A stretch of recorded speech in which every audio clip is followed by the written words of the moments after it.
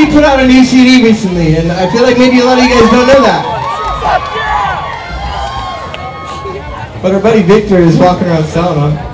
Aren't you doing it right now, dude? We're like in the center of everything. It would be so perfect. Uh, but yeah, we're selling them for five bucks. The CD's called Would It Kill You?